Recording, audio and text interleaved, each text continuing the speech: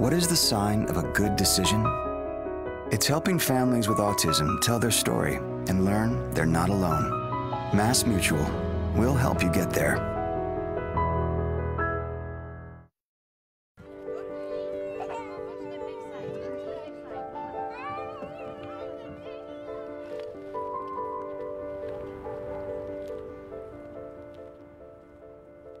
There is a, these group of kids who are now hitting 13, 14, 15, who very soon are going to be leaving the educational system and entering the adult world that's already overwhelmed with the demands of people who are in the adult world.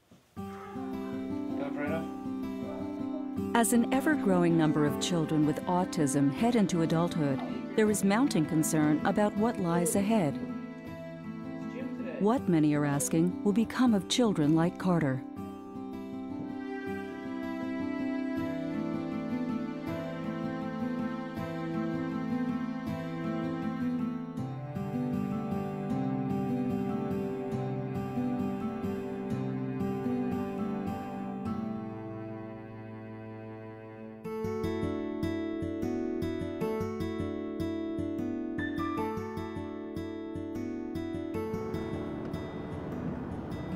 I've worked as a deputy commissioner for the Department of Developmental Services, and I worry about the scarcity of government resources for people who have autism in their adulthood.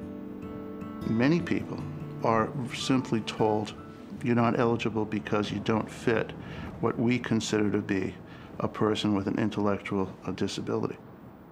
After leaving his post as Deputy Commissioner of the Department of Developmental Services, Fred Misilo began to advocate as an attorney for people with disabilities, like Dan Ryan.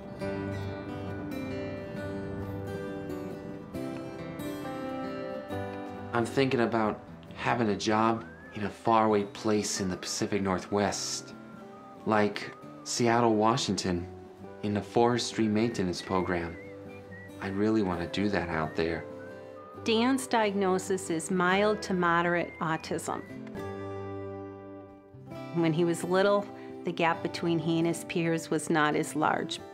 But now that he's older, there is a significant gap between our son at the age of 21 and a regular 21 year old man. And it's noticeable, not physically, but you start to have a conversation with him, and very shortly you figure out that um, there is definitely a problem there. Dan, right now, um, is at Riverview School, which is a residential school.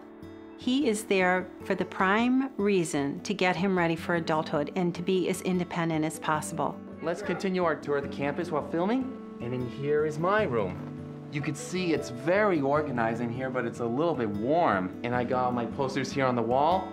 X-Men, that's Iron Man, he's Marvel, and that's Batman the Dark Knight. And I read comics about them, watched movies and TV shows about them, but they only use their powers for good not for evil. When Dan was getting close to age 18, um, we went ahead and had him apply to the Department of Developmental Services for adult services. Well, we filled out all the forms and we were denied because Daniels did not meet the IQ level.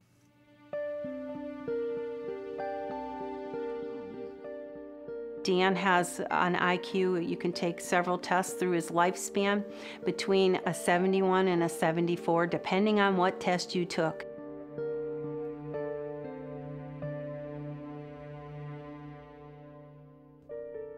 The Ryans appealed the Department of Developmental Services decision to deny Dan services as an adult.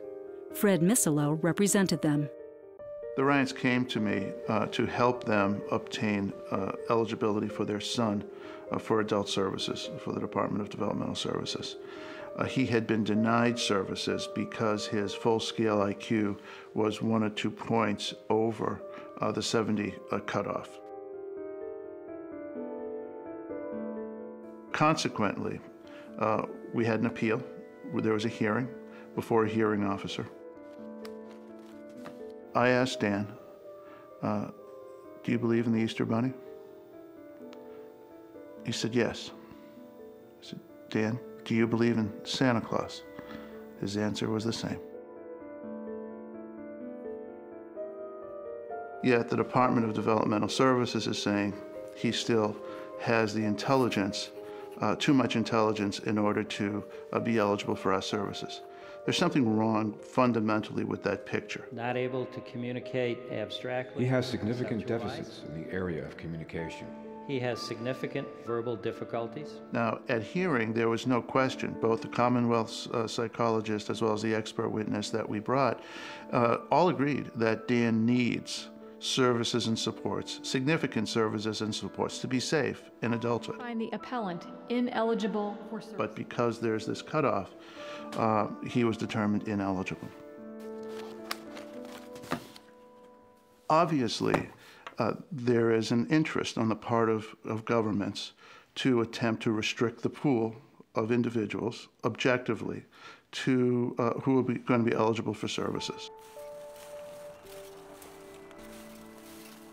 For the rest of our lives, my husband and I are responsible for our son, which we have no problem doing. However, there will come a time that we will die, and there'll be no one there to help Danny.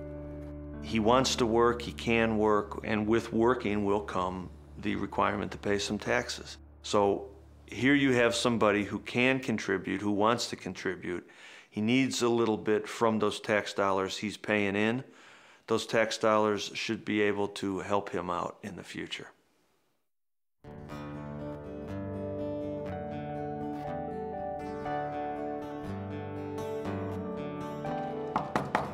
Housekeeping. One, two, three, four, five, six, seven, eight, nine, ten. Housekeeping. One, two, three, four, five, six, seven, nine, ten. First one, you, you take this back, you dust and brush it back, and back to this thing. Vacuum up here. Doug is someone who has always been fascinated with vacuums. Since the time he was three years old, I can picture him with vacuums. I have a Dayton backpack right now. I got the two-piece one that's stuck together, power nozzle. I have the hose and the adapter. Early on, it was an instrument of getting him to talk more because whenever he met someone, he'd want to know, what kind of vacuum do you have? and he would remember if he sees someone, I swear 20 years later, he'll say, oh, I know you have a, you know, whatever type of vacuum. He vacuums 40 hours a week or four days a week, whatever the week may bring. Um, and to be able to uh, do what you really, really, really like to do and get paid for it, and that's pretty cool. And Doug getting a job vacuuming would be like me getting a job drinking beer and watching the Patriots. Mom, what are you thinking about? What are you talk, guys talking about? Right now, we're talking about our school. At age 31, Doug still lives at home with his parents and younger siblings. His family provides a safe place for him to live and the supervision he needs. Calm down. What? Calm down. You know? Can you chill? Yes. It used to be that if you qualified for services or supports through the Department of Developmental Services, you could anticipate that you would also be able to obtain future housing support through that same department. Now, with money being the issue that it is, there is no guarantee whatsoever that you will be able to get financial support to augment moving out um, to some type of non-family living situation. Okay, now go up to the address bar up here. We're using federal and state funds inefficiently, and as a consequence, people are being told they do, there's no resources. Traditionally, Medicaid has funded large institutional settings. And what we know about them is that the outcomes for people are generally not good, and that it's a very inefficient use of resources. As a result, many state disability experts are looking at person centered planning, which allows individuals with disabilities to use Medicaid funds to live and work in their communities.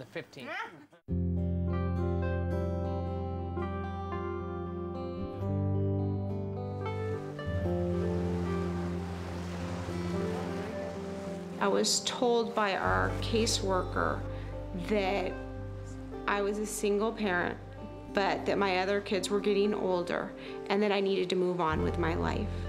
That I should just let Tomas go. just go ahead and pack up Tomas's bags. Bring them over, drop them off, and you can go on with your life, basically. And that wasn't okay with us. Tomas is on the autism spectrum. He has an intellectual disability and is nonverbal. He communicates mostly with hand gestures. We wanted to be part of Tomas's life, make decisions with him and on his behalf for his best interest. And I didn't feel like that was what we envisioned for Tomas. There you go. Now remember, here comes the ball. There you go. We always wanted him to be a part of the community and have as many choices and opportunities with the community as possible. Get on your flipper. People have a right to say what it is that they want in their lives, that, that the things that make them happy, what their hopes and their desires are. Uh, so every good program should have that at its core. In the past, programs for people with disabilities were not designed with these values in mind. The only option for people like Tomas who need 24 7 care used to be an institution or a group home. Today, Tomas is able to live in the community and make lifestyle choices at regularly scheduled planning meetings with the staff at a private nonprofit agency called Total Living Concept. We're going to think about what you can do, what you love to do, what your gifts are. We're going to make a list of those things. In person-centered planning, the absolute core concept is a pretty simple one. It's listening. Uh, you listen to a person. You listen to their dreams, their visions. You try to understand those as carefully as you can. Because Tomas had several violent episodes in high school, the Espinosas were considered a family in crisis and funds became available for him to live outside his mother's home with 24 7 care. In Tomas's case, he wanted to live near his family, particularly his grandparents, and, and that became a central point of his planning because their relationships were so close. It's a nice day to go for a walk, isn't it? Yeah. You want some chicken, Tomas? You do want chicken? Tomas shares a two bedroom apartment with a roommate not far from his grandparents' home. You want more? Disability income from Social Security and a Section 8 subsidy pay Tomas's rent. His roommate lives rent free in exchange for making sure that Tomas is safe overnight. In the evening, they hang out together. You're gonna open your pop?